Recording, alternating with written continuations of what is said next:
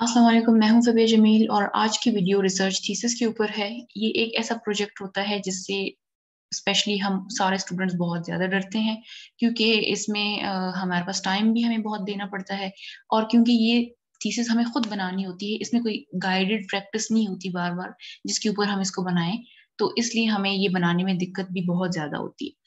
ये research video बनाने से पहले I would like to say that yes there are more knowledgeable person जो जो बाकायदा प्रोफेशनल रिसर्चर्स हैं और आप चाहें तो आप उनकी वीडियोस भी देख सकते हैं, लेकिन क्योंकि मैं स्टूडेंट हूँ और मैं इस वक्त खुद थीसिस बना रही हूँ, मैंने थीसिस अभी तक कंप्लीट नहीं किया।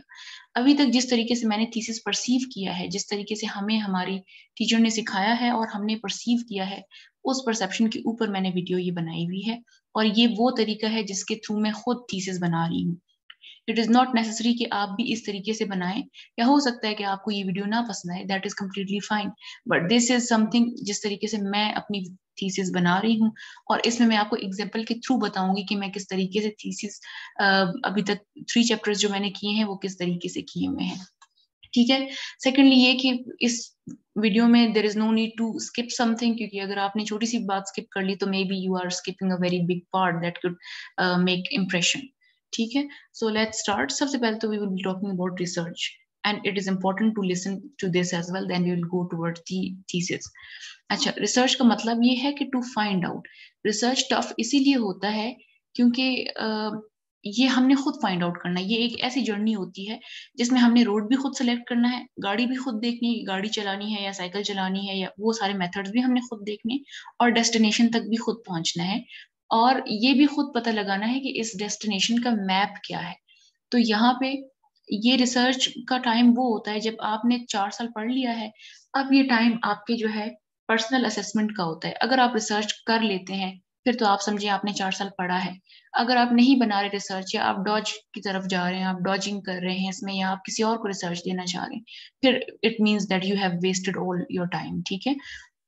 तो रिसर्च बेसिकली यहाँ, इसमें एक और बात बहुत अच्छी है कि रिसर्च में आप खुद बॉस होते हैं। इसमें आपको टीचर्स नोट्स प्रोवाइड नहीं करती, इसमें आपको एग्ज़ाम आपके नहीं होने होते। यहाँ पे आपने खुद एक टॉपिक के ऊपर completely just like a professional researcher आपने जाके अपनी रिसर्च करनी होती है। अच्छा रिसर्च हमें मुश्किल क्यों लगती है? क्योंकि हमें लगता है ये एक बहुत बड़ा जो है प्रोजेक्ट है, जिसमें बहुत सारे पेजेस हैं। हमने एक वर्कशॉप जो है ज्वाइन किया था और उसमें हमें जो वो सर खड़े थे वो हमें बता रहे थे कि आप अगर सब्ज़ी मंडी पे भी जा रहे हैं और आप एक जो है कार्ट वाले से पूछ रहे हैं कि टमाटर की प्राइस क्या है, वो आपको इतनी बता रहे हैं। फिर आप दूसरे के पास जा रहे हैं, फिर आप तीसरे के पास जा रहे हैं तो ये भी एक किस्म की रिसर्च है दैट यू आर डूइंग और रिसर्च हम अपनी डेली लाइफ में करते रहते हैं, बस हमें पता नहीं होता, हम कॉन्शियसली नहीं करते या हम उसको उस तरीके से बुकिश तरीके से लिखते नहीं है, तभी हम जब रिसर्च का सब्जेक्ट आ जाता है या थीसिस आता है तो हम उससे डरते हैं। हालाँकि हम अपनी डेली रूटीन में, आपने अक्सर देखा होगा कोई मसला एक हो जाता है, हम क्या करते हैं? दस लोगों से पूछ के फिर मसले सॉल्व करवाते हैं, फिर उसकी सुलह करवाते हैं एंड ऑल दैट उसमें हम बहुत जीनियस होते हैं। तो ये भी एक वही इशू है just this is an academic issue life issue नहीं है, ये अकेडमिक इशूज होते हैं और हमने उसके ऊपर रिसर्च करनी होती है फाइंड आउट करना होता है। जब आप रिसर्च करें तो ये मान लें that you are now professional अपने आप को एक्सपर्ट समझ के रिसर्च करेंगे तभी आप रिसर्च को पूरा कर पाएँगे। अगर आप इस चीज़ से डरेंगे कि मैं किस तरीके से करूँगा या करूँगी तो फिर मैं भी रिसर्च कभी खत्म ना हो। ठीक है? अच्छा इसके बाद टाइम ये लेती है इट टेक्स सिक्स मंथ्स और जि, जितना हमारा टेन्योर सेमेस्टर का होता है उसमें ये कंप्लीट होती है। हर रिसर्च का अपना टाइम होता है डिपेंड्स अपॉन द ऑब्जेक्टिव्स आपने कितने रखे हुए हैं। तो ये टाइम टेकिंग तो होती है। इसीलिए हम जब भी इसीलिए रिसर्च का नाम है। हम जब भी रिसर्च की बात करते हैं, हम जब कोई बात इस तरीके से कहते हैं कि ये बात रिसर्च में प्रूव्ड है तो ऑब्वियसली वो बात बड़ी चीज़ होती है और हम बहुत प्राउडली ये कहते हैं। बिकॉज़ किसी एक रिसर्चर ने उसके दिन, उसके पीछे छह महीने, एक साल लगाया हुआ होता है और ये बात प्रूव करके करके वो जाता है कि ये कंप्लीट एक मैंने रिसर्च में ये बात लिखी है, ये बताई है। ठीक है? तो ये टाइम टेकिंग होती है। अब रिसर्च करने के दो तरीके हैं, या तो आप खुद रिसर्च कर लें, या तो आप किसी से करवा लें, ठीक है? दो तरीके हैं, खुद करेंगे तो it is better more than enough क्योंकि आपने ये जो हम कभी कभी ये बात करते हैं कि आप एक जो है बच्चे की जो कैपेबिलिटी है, वो हम किसी पेपर से असेस नहीं कर पाते। जो रिसर्च होता है, वो अक्सर बड़े बड़े टॉपर्स जो है, हमसे मिस हो जाती है और वो स्टूडेंट्स जो कि, सारी, सारा साल खामोश रहते हैं, उनकी रिसर्च सबसे अच्छी निकल जाती है। और ये इस चीज़ के एविडेंस है कि उन्होंने अच्छे तरीके से चीज़ें परसीव की होती हैं और यहाँ पे जब हम रिसर्च करते हैं तो हमारे कॉग्नेटिव डोमेन के हायर ऑर्डर जो थिंकिंग लेवल्स हैं, वो यूज़ होते हैं। To explore to find out to construct ठीक है? ये सारी चीज़ें हमारे माइंड में चल रही होती हैं। तो दिस इज़ द टाइम जब आप अपनी सारी नॉलेज इम्प्लीमेंट करते हैं, ठीक है? और एक बहुत ही बड़ा प्रोजेक्ट आप जो है पाया तकमील उसको ले आते हैं और वो आपकी रिसर्च हो जाती है। रिसर्च में हमारे पास प्लेजरिज्म की जब हम बात करते हैं तो दो किस्म के प्लेजरिज्म होते हैं। एक आइडियाज़ का होता है, एक वर्ड्स का होता है। वर्ड्स का प्लेजरिज्म तो आप को सॉफ्टवेयर में पता चल जाता है कि इसने किसी के वर्ड्स चुराए हैं या उठाए हैं, ठीक है? लेकिन आइडियाज़ का नहीं पता चलता। अब it is up to you कि आपका जमीर इस चीज़ को अलाउ करता है, आप किसी का आइडिया चुराएँ और अपने रिसर्च में डालें और उसको दे दें तो कोई फ़ायदा नहीं है उस रिसर्च का, ठीक है? अगर आप प्रॉपर रिसर्च करना चाहते हैं तो उसको तरीके से करें और एज अ रिसर्चर बन के करें, ठीक है? और वर्ड्स का प्लेजरिज्म वो तो पकड़ा जा ही सकता है तो उसके तो कोई इशू नहीं है, लेकिन आइडियाज़ का। और वन मोर थिंग हमें जो हमारे वर्कशॉप में जिस सर ने बताई थी बात, उन्होंने ये कहा था कि आप जिस भी कल को जाके जिस भी बड़े से बड़े मकाम पे जाके पहुँच जाए और वहाँ पे आपकी रिसर्चेस खोली जाती है और आपका वहाँ से प्लेजरिज्म फाइंड आउट हो जाता है तो बेशक आपने तीस साल भी उस सर्विस को दिए गए हों, आपसे बैजेस उतार लिए जाएँगे, ठीक है ना? क्योंकि आपने अकेडमिक थेफ्ट किया होता है, जो कि विच इज़ इलीगल ठीक? So now coming towards the thesis पहले तो इसका फॉर्मेट हम देखते हैं कि इसमें पाँच चैप्टर्स होते हैं हमारे पास। अच्छा इस वीडियो में मैं सिर्फ़ उन चैप्टर्स को कवर करूँगी जो मैंने अभी तक खुद बनाए हैं। ये वीडियो ना बनाने का मकसद भी ये था कि मैं खुद ये कर रही थी और अब जो जो मैंने इनमें से जो हेडिंग्स मैंने की हैं, वो तो मैं समझा दूँगी। जो मैंने नहीं की, उन पे मैं बात नहीं करूँगी, ठीक है? पाँच चैप्टर्स होते हैं। सबसे पहले हमारे पास एब्स्ट्रैक्ट लिखा जाता है, लेकिन एब्स्ट्रैक्ट हम सबसे पहले नहीं लिखते। जब हम किसी का रिसर्च खोलते हैं, वो सबसे पहले लिखा होता है, लेकिन वो लिखा पहले नहीं जाता। वो सारी रिसर्च करने के बाद लिखा जाता है, क्योंकि उसमें ए टू जेड सारी बात होती है कि ये मसला था, ये उसके मेथड्स थे और ये चीज़ फाइंड हुई। तो जो चीज़ फाइंड हुई ही नहीं है, वो हम पहले से नहीं लिख सकते। ठीक है? सेकंड हम तो अच्छा उसके बाद हमारे पास आता है इंट्रोडक्शन जो कि हमारा पहला चैप्टर होता है। ये उसका फॉर्मेट है। और इसमें ये तकरीबन मैंने सारा किया हुआ है तो मैं आपको बारी बारी करके सारा समझाऊँगी कि किसमें आप क्या लिख सकते हैं। अच्छा चैप्टर वन इज़ इंट्रोडक्शन इसमें सबसे पहले हमारे पास आता है स्टेटमेंट ऑफ़ प्रॉब्लम अच्छा स्टेटमेंट ऑफ़ प्रॉब्लम से पहले भी हमारे पास दो, तीन, चार पेजेस का इंट्रोडक्शन आता है, जो कि हम तभी लिख सकते हैं जब हमने लिटरेचर रिव्यू किया हो। इस पे हम, मैंने एक वीडियो एक नहीं, दो वीडियोस बना चुकी हूँ। लिटरेचर रिव्यू के बाद ही आप चैप्टर वन स्टार्ट करते हैं। चैप्टर वन भी आप पहले स्टार्ट नहीं करते, आप पहले चैप्टर टू करते हैं, जो आपका लिटरेचर रिव्यू होता है। उसके बाद आपको पता चलता है कि आपकी स्टेटमेंट ऑफ़ प्रॉब्लम क्या है, आप क्वेश्चन क्या रखना चाहते हैं या ऑब्जेक्टिव क्या रखना चाहते हैं। क्योंकि लिटरेचर रिव्यू करते ही आपका जो रिसर्च uh, क्वेश्चन है वो रिफाइन या नैरो होता है उसके बाद ही आप इन टॉपिक्स पे बात कर सकते हैं। तो चैप्टर वन चैप्टर टू के बाद होगा। पहले आप रिव्यू ऑफ़ लिटरेचर करेंगे। रिव्यू ऑफ़ लिटरेचर हमने कर लिया अब उसके बाद हम इंट्रोडक्शन लिखेंगे और इंट्रोडक्शन में भी हम एक स्लाइड जो है इंट्रो देंगे अपने लिटरेचर रिव्यू की बॉडी का एक अच्छा सा क्रक्स लिखेंगे और फाइनली हम ये लिखेंगे कि ये रिसर्च इस काम में किस तरीके से हेल्प करेगी। ठीक? इंट्रोडक्शन लिख लिया, उसके बाद हम स्टेटमेंट ऑफ़ प्रॉब्लम लिखते हैं। जैसे कि नाम बता रहा है कि हम फॉर एग्ज़ाम्पल आपने माशरे में कोई इशू देख लिया प्रॉब्लम देख ली, और आप उस प्रॉब्लम पे रिसर्च करना चाहते हैं, वो आपकी प्रॉब्लम हुई, और उसकी, उसको आप जब स्टेटमेंट में बताते हैं तो वो आपकी स्टेटमेंट ऑफ़ प्रॉब्लम होती है। फॉर एग्ज़ाम्पल मेरी सपोज़ रिसर्च है मोटिवेशन के ऊपर, ठीक है? और जब मैं मोटिवेशन के ऊपर काम कर रही हूँ और मैंने लिटरेचर उस पर कर लिया है तो अब मुझे पता चल रहा है कि हमारे पास एक बड़ा इशू ये है कि टीचर्स की इन्वॉल्वमेंट स्टूडेंट्स की पढ़ाई पे तो होता है, लेकिन उनकी मोटिवेशन के ऊपर नहीं होता। तो ये एक स्टेटमेंट ऑफ़ प्रॉब्लम है। ये आप स्टेटमेंट देते हैं, उसके बाद आप इसके पॉसिबल सोल्यूशन भी बताते हैं और आप ये भी बताते हैं कि जो मेरी रिसर्च है, वो इस प्रॉब्लम को सॉल्व करने में किस तरीके से हेल्प करेगी। ठीक है? फॉर एग्ज़ाम्पल आप ये आपने स्टेटमेंट लिख दी कि the lack of teachers involvement या आपकी कोई भी स्टेटमेंट है, ठीक? उसके बाद हम रिसर्च क्वेश्चंस लिखते हैं।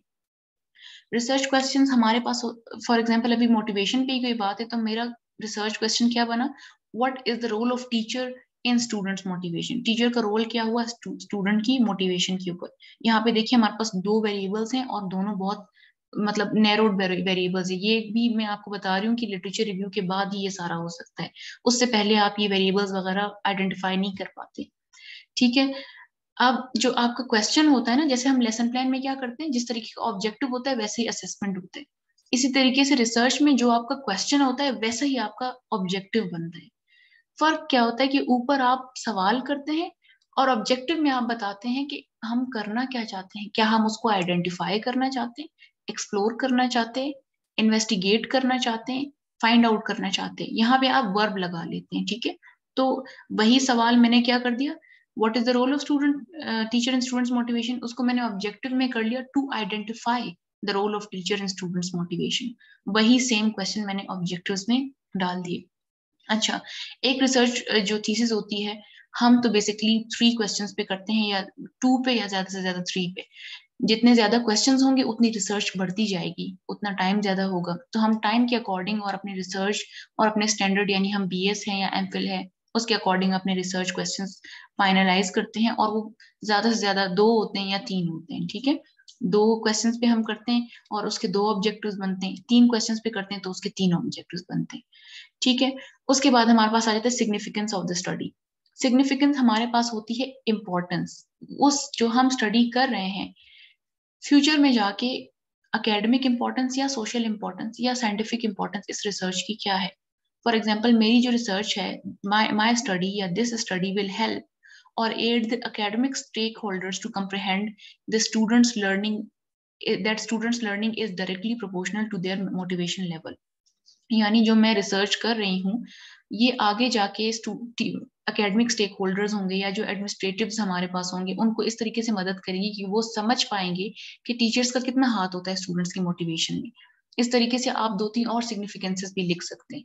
ठीक है कि ये पेरेंट्स को आप सपोज़ किसी स्कूल्स पे आप रिसर्च कर रहे हैं तो आप उस पर लिखेंगे कि this study will help the parents कि वो इस किस्म के स्कूल में अपने बच्चों को एडमिशन करवाएँ और वो इस तरीके से स्कूल्स का सर्वे करें। यानी यहाँ पे आप ये बताते हैं कि कल को कोई आपका, आपकी रिसर्च उठा के पढ़ता है तो उसकी क्या इंपॉर्टेंस होगी उसकी लाइफ में? सोशली उसकी क्या इंपॉर्टेंस होगी? अकेडमिकली उसकी क्या इंपॉर्टेंस होगी? ये आप इसमें ये बताते हैं the importance of your study उसके बाद आप लिमिटेशंस लिखते हैं कि आप फॉर एग्ज़ाम्पल अभी कोविड चल रहा है ना तो ये हमारे ऊपर एक लिमिट आ गई है। कोविड की वजह से हम बाहर नहीं जा पा रहे। तो मैंने, आपने या किसी ने भी लिख लिया कि कोविड की वजह से इश्यूज़ आ गए।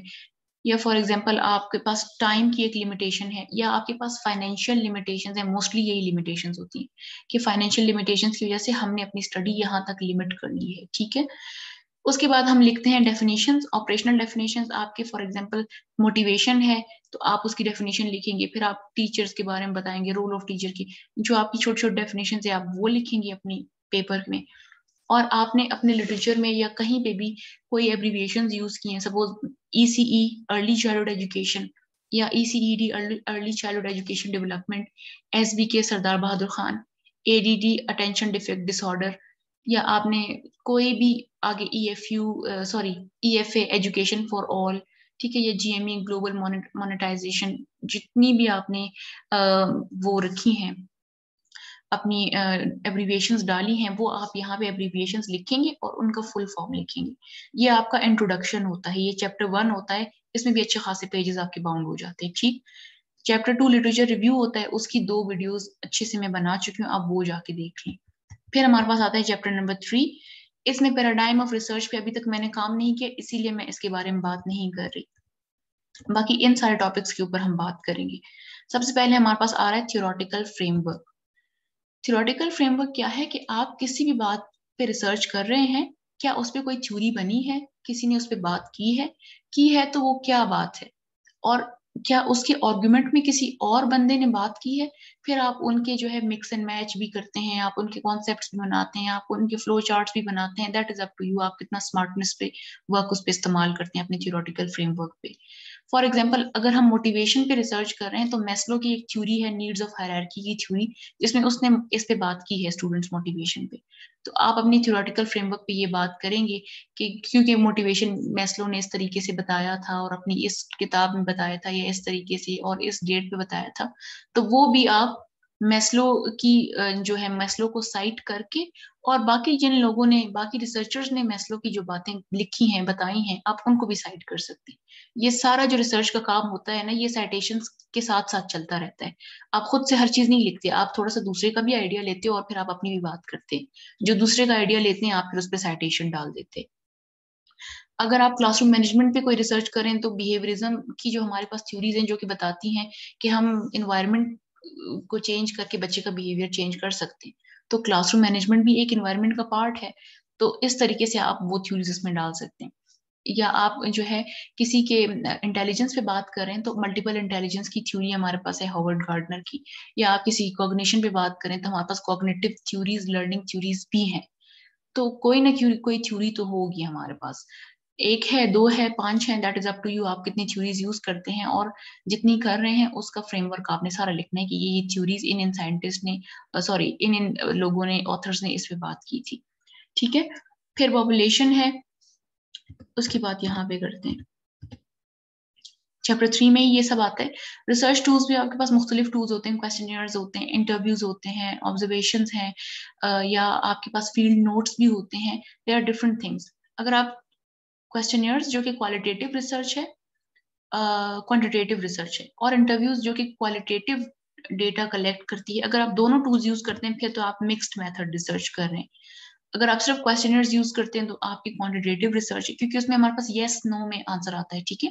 न्यूमेरिकल फॉर्म्स में हमारे पास आंसर आते हैं। इंटरव्यूज़ में, क्योंकि बहुत बड़े बड़े डिस्क्रिप्टिव या नेरेटिव हमारे पास आंसर्स आते हैं तो वो क्वालिटेटिव डेटा हमारे पास बन जाता है। अगर तो आप दोनों यूज़ करें तो मिक्स्ड मेथड है, अगर आप एक यूज़ करें तो फिर आप नाम लिखेंगे कि मेरी जो रिसर्च है, उसमें मैं कौन सी डिज़ाइन यूज़ कर रहा हूँ? क्वालिटेटिव है। सॉरी कौन सा मेथड यूज़ कर रहा हूँ? क्वांटिटेटिव है या क्वालिटेटिव है? फिर आप उस पर डिज़ाइन भी लिखते हैं कि मैं कौन सी डिज़ाइन यूज़ कर रहा हूँ या वट ठीक है? वो सारा आप बताते हैं। फिर हमारे पास आता है सैम्पलिंग टेक्निक सैम्पलिंग टेक्निक आप कन्वीनियंट सैम्पलिंग यूज़ कर रहे हैं, जो कि आपके नज़दीक जितने भी लोग हैं, आप उनको कन्वीनियंट आपके लिए है, आप उनसे डेटा कलेक्ट करें तो वो कन्वीनियंट हो गई। पर्पजिव सैम्पलिंग तब होती है जब हम स्पेशली किसी एक ही बंदे से बात करते हैं, क्योंकि वो जो हम रिसर्च करते हैं, वो मैच ही उससे करती है। फॉर एग्ज़ाम्पल डिसलेक्सिक वगैरह जो इश्यूज़ होते हैं, वो हर बंदा तो डिसलेक्सिक नहीं होता। और अगर हमें उनके पेरेंट्स से बात करनी है तो फिर वो पर्पजिव सैम्पलिंग होती है, ठीक है? फिर इसकी तरह हमारे पास स्नोबॉल सैम्पलिंग होती है and there are many other sampling techniques तो आप कौन सी यूज़ कर रहे हैं that is up to you stratified sampling हम तब यूज़ करते हैं जब हम स्टार्टर्स बनाते हैं ग्रुप्स बनाते हैं। तो इस तरीके से that is up to you कि आप बॉयज़ एंड गर्ल्स पे या कास्ट सिस्टम पे जब आप रिसर्च करते हैं तो फिर आप ग्रुप्स बनाते हैं तो उसमें आप फिर वो सैम्पलिंग्स भी यूज़ करते हैं। uh, आप अपनी टेक्निक भी लिखेंगे फिर आप पॉपुलेशन लिखेंगे कि आपकी पॉपुलेशन या तो टीचर्स हैं या पेरेंट्स हैं या जो है बैंकर्स हैं ठीक है वो पॉपुलेशन हो गई और उन बैंकर्स में से जिन्होंने आपकी रिसर्च में पार्टिसिपेट किया है वो आपका सैंपल होता है। तो आप वो सैंपल भी लिखते हैं मैंने सैंपल नहीं लिखा क्योंकि अभी तक मैंने वो परस्यू नहीं किया काम। जब मेरा सैंपल बन जाएगा तो मैं लिख लूँगी कि सपोज़ सौ टीचर्स मेरे सैंपल थे या सौ पेरेंट्स मेरे सैंपल थे या वट सो एवर सौ बैंकर्स मेरे सैंपल थे। ठीक है? फिर इसी तरीके से एडमिनिस्ट्रेटर्स या जो भी पॉपुलेशन यानी कि वो सारा जो है ग्रुप और उसमें से जो आपका रिस्पॉन्डेंट या पार्टिसिपेंट होता है वो आपका सैंपल होता है। फिर है चैप्टर फोर एंड फाइव मैंने चैप्टर थ्री तक काम किया हुआ है। चैप्टर फोर एंड फाइव में आपके पास डेटा आपने कलेक्ट कर लिया इंटरव्यूज़ कंडक्ट कर लिए, यहाँ पे कलेक्शन वगैरह हो गई, आपने सैम्पलिंग कर ली, सब कुछ कर लिया कलेक्शंस वगैरह कर ली, उसके बाद आपका डेटा एनालाइज होता है। और एनालिसिस के बाद आपकी चैप्टर फाइव में जो रिजल्ट्स आती हैं या फाइंडिंग्स आती हैं वो आप लिखते हैं, ठीक है? पाई पाई चार्ट्स बनते हैं, उसमें ग्राफ्स बनते हैं, उसमें क्वालिटेटिव होता है तो उसमें बड़े बड़े नरेशन भी हम लिखते हैं। जो भी कुछ होता है वो हम डेटा एनालाइज करके उसके बाद हम अपने रिज़ल्ट या फाइंडिंग्स लिखते हैं इस चीज़ का ये हमारे पास फाइंडिंग्स या रिज़ल्ट आए हैं। आप अगर रिकमेंडेशन देना चाहते हैं तो आप रिकमेंड भी कर सकते हैं। और अगर उस चीज़ पे आपको लगता है कि फ्यूचर रिसर्च की ज़रूरत है तो आप वो भी रिकमेंड करते हैं कि इस पे फ्यूचर रिसर्च की नीड है। और दैट इज़ हाउ आपका जो थीसिस है, वो कंप्लीट हो जाता है। इस पे इतनी कंप्रहेंसिव बात मैं नहीं कर रही, क्योंकि ये पोर्शन अभी तक मैंने कंप्लीट नहीं किया। ऑल द ऊपर वाला कर लिया था। So that is it this is how your research ends and uh, that's it for the video as well. Thank you so much. If you like kindly like share and subscribe because this is the time when educational content needs to get promoted